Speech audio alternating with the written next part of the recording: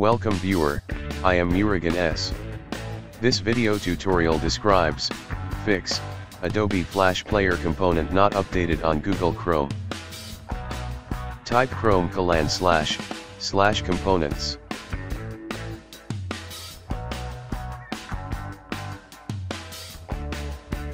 Status is component not updated. Close the browser. Right-click Start button, Run.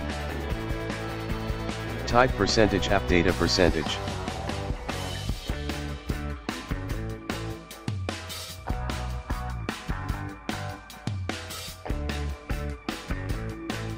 Click app data.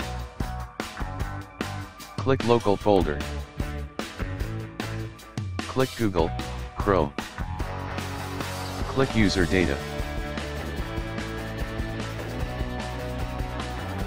Delete Pepper Flash folder.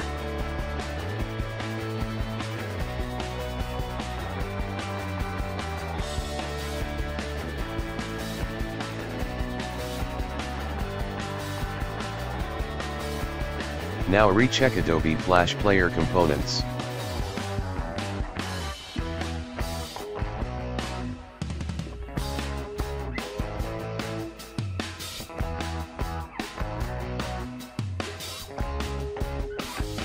Click Check for update.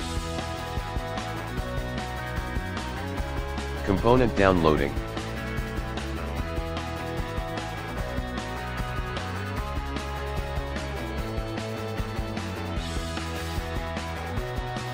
Component updated successfully.